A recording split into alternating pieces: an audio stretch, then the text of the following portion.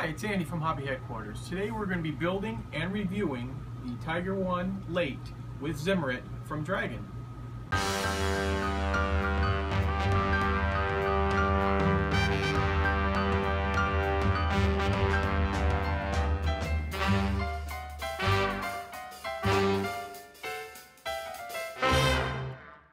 Okay, let's take a look inside here. Right off the top here, we have our photo etch screens and decal sheets. Our instructions, which show you all in blue all the different parts that you don't need in this kit. A lot of them are duplicated. Your torsion bar suspension, extra track links,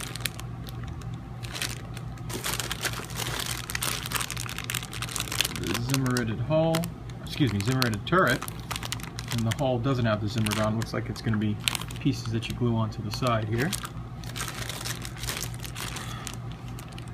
Turret tops, different mantlets, which you probably don't use those two because they're going to have to be Zimmerited.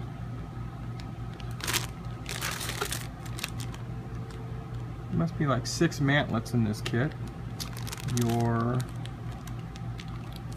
gun breech, parts of the cupola, more parts of the cupola, some of your drive sprockets then. Turret top, excuse me, hull top, side skirts, and there's the other zimmerit parts. There's your zimmerit sides, and your rear and your front and the mantlet in Zimmerit. And as with most Dragon kits, they have a tendency to reuse a lot of their parts over and over again. So you're going to find parts in the early Tigers, the mid Tigers, all the way through in here. So lots of extras for your spare box. And the final thing that they have in the box is the DS tracks. They have hollow horn on this particular one. So not bad looking right here. They're, you know, they're not full track, but they're also not $50 a set extra. So let's start building. Okay, we've cut off and cleaned up all of the torsion bar suspension, so let's put it together.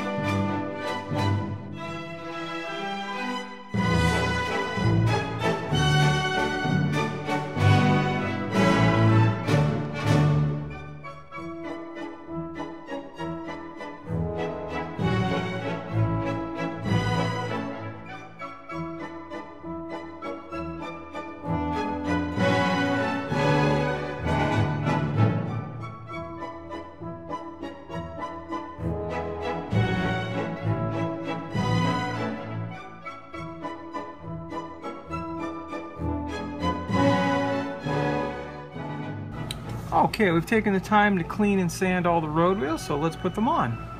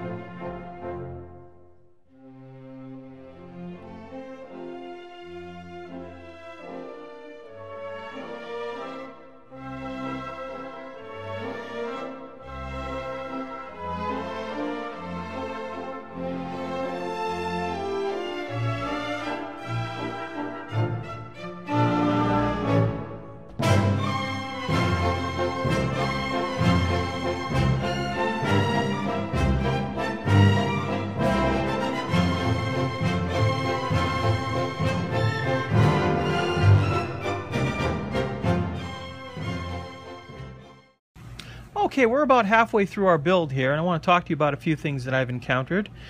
First off, I know we took all the time to put our torsion bar suspension in there, but what I've gone ahead and done is just glued all the wheels into a static position, so the suspension doesn't work anymore on this kit. I find it to be kind of a kind of a little bit of a gimmick and it causes more problems later on especially when wheels don't want to line up properly and not all the wheels will be sitting flat on the ground. Also another little thing I've had a problem with is nowhere, at least in my instructions, does it show about adding the front piece of Zimmerit right here. So if you're waiting and waiting, waiting to the end, you've already, and you follow the instructions, you've already added these bolts right here. If you've done that, that Zimmerit plate is not going to fit over it. So what I went ahead and did was I actually put the Zimmerit on first, then I applied those bolts, and then a little later on we're going to fill in that little crack with a little putty right there. But without it, that would be really tough to try to get on the kit. Also, there's a little bit of a fit issue up in the front here. Minor, I guess it is, because you got to do a little messing around with it to get it to fit. And then right here, this will get covered over with the, uh, the Photo Etch Zimmerit that they have in this kit as well. And the only other thing that I tell about is the connection points. Some of the connection points, like on some of these pieces, there was like 12 connection points to the sprue on there and seems a little excessive because there's a lot of extra sanding you have to do when you put it together. But other than that it's a beautiful kit. Show you some of the uh, the work that's the way it looks. Also too on the back there's a lot of little parts that you'll notice that are not on there right now.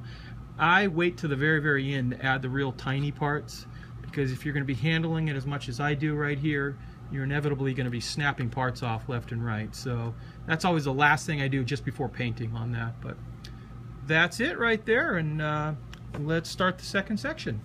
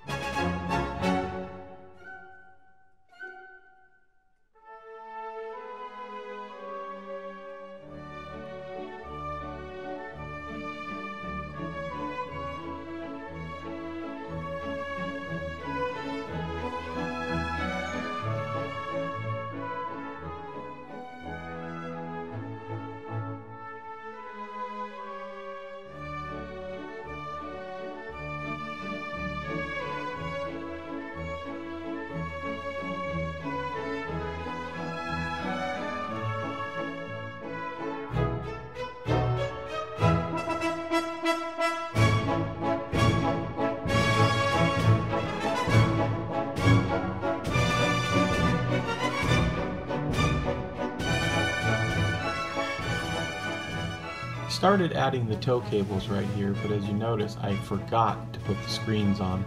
Luckily, I did not glue the back of the tow cables on, so I was able to slide them right in.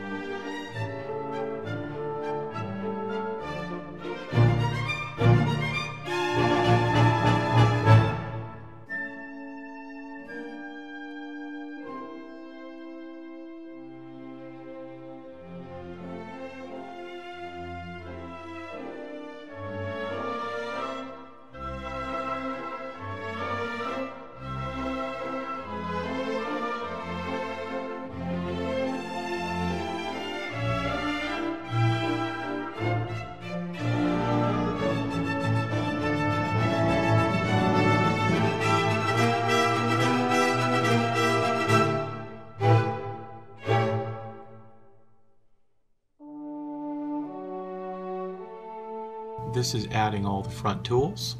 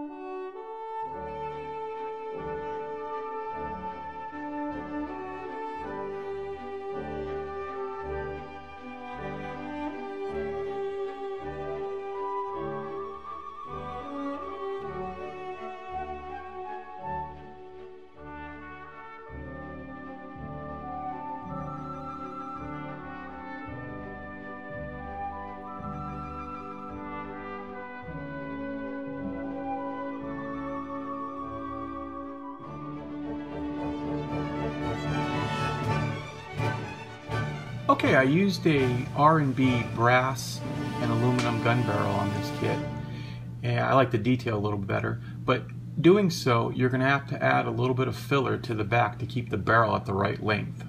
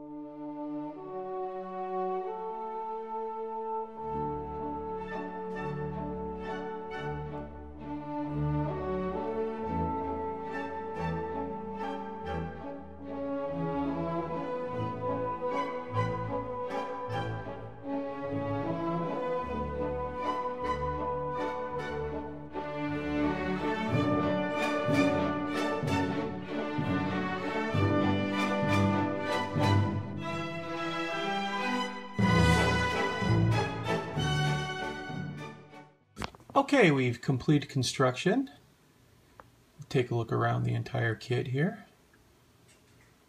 Very, very nice detail with the Zimmerit. And now we can get on to painting. We're going to start off using XF69 NATO Black and I'm going to put a nice coat over the entire thing to give it a nice shadow effect.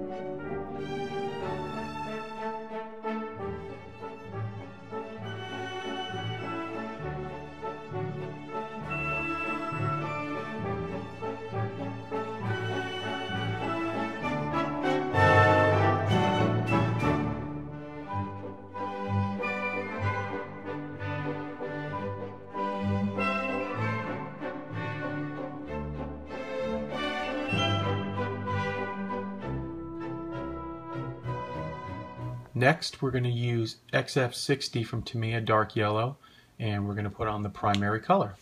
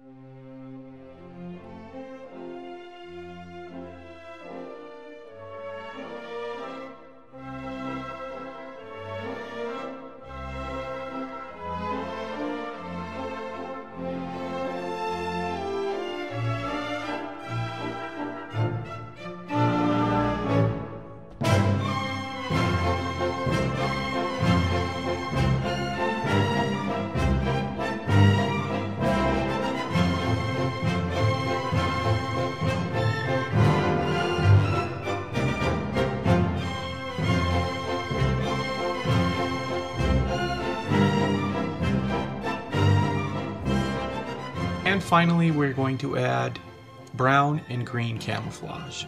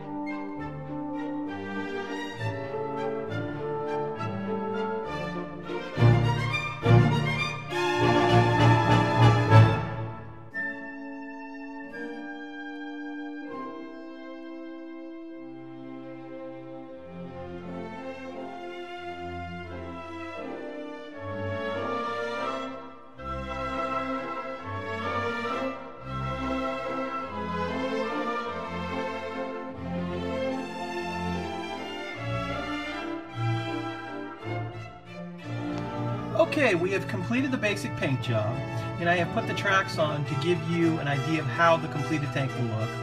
Please stay tuned for part two, where we will paint and weather the tracks. We will also do all the detail painting and weathering of the tank. Thanks for watching.